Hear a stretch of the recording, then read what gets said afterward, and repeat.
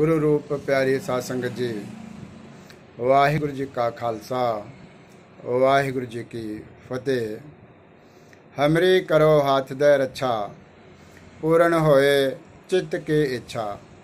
ਤੰਦਨ ਸਾਹਿਬ ਸ੍ਰੀ ਗੁਰੂ ਗੋਬਿੰਦ ਸਿੰਘ ਜੀ ਮਹਾਰਾਜ ਜੀ ਦੀ ਇਹ ਪਾਵਨ ਜਗਤ ਪ੍ਰਸਿੱਧ ਰਚਨਾ ਸ੍ਰੀ ਚੌਪਈ ਸਾਹਿਬ। ਸ੍ਰੀ ਚੌਪਈ ਸਾਹਿਬ ਜੀ ਨੂੰ ਰਚ ਕੇ 4 ਸਤੰਬਰ 2022 ਨੂੰ 327 ਸਾਲ ਸੰਪੂਰਨ ਹੋ ਰਹੇ ਹਨ। ਚੌਪਈ ਸਾਹਿਬ ਜੀ ਦੀ ਪਾਵਨ ਬਾਣੀ ਗੁਰਸਿੱਖਾਂ ਦੇ ਨਿਤਨੇਮ ਦਾ ਅਭਿੰਨ ਅੰਗ ਹੈ ਅਤੇ ਇਹ ਬਾਣੀ ਅੰਮ੍ਰਿਤ ਸੰਚਾਰ ਵੇਲੇ ਵੀ ਪੜ੍ਹੀ ਜਾਂਦੀ ਹੈ।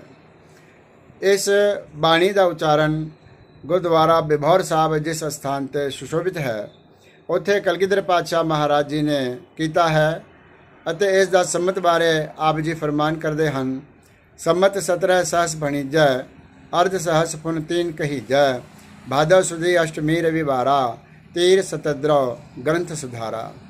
ਸੰਮਤ ਕਿਹੜਾ ਸੀ? 17 ਸਹਸ 1700 ਅਤੇ ਅਰਧ ਸਹਸ, ਹੋਰ ਉਸ ਦੇ ਵਿੱਚ 50 ਸਵਾਲ ਜੋੜੇ ਜਾਣ।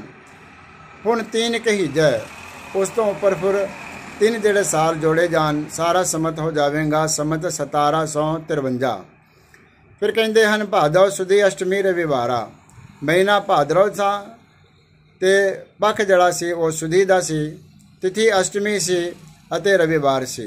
ਤੀਰ ਸਤਦਰਵ ਗ੍ਰੰਥ ਸੁਧਾਰਾ, ਸਤਲੁਜ ਦੇ ਕੰਡੇ ਜਿੱਥੇ ਅੱਜ ਗੁਰਦੁਆਰਾ ਬਿਭੌਰ ਸਾਹਿਬ ਸੁਸ਼ੋਭਿਤ ਹੈ, ਉਸ ਸਥਾਨ ਤੇ ਇਸ ਪਾਵਨ ਬਾਣੀ ਦੀ ਰਚਨਾ ਹੋਈ ਹੈ।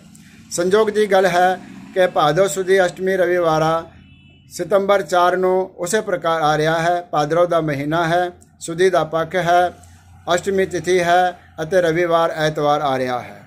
ਇਸ ਪ੍ਰਕਾਰ ਦਾ ਸੰਜੋਗ ਕਦੇ-ਕਦੇ ਬਣਦਾ ਹੈ।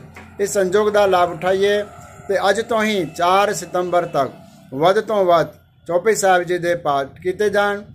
4 ਤਾਰੀਖ ਨੂੰ ਸਵੇਰੇ 11 ਵਜੇ ਆਪ ਆਪਣੇ ਸਥਾਨਾਂ ਤੇ ਰਹਿ ਕੇ ਜਿਨੇ ਵੀ ਪਾਠ ਆਪ ਜੀ ਤੋਂ ਹੋਣ, ਉਹਨਾਂ ਦੀ ਖਾਲਸਾ ਪੰਥ ਦੀ ਚੜ੍ਹਦੀ ਕਲਾ ਵਾਸਤੇ ਅਰਦਾਸ ਕੀਤੀ ਜਾਵੇ। ਬੇਨਤੀ ਪ੍ਰਵਾਨ ਕਰੋ, ਵਾਹਿਗੁਰੂ ਜੀ ਕਾ ਖਾਲਸਾ।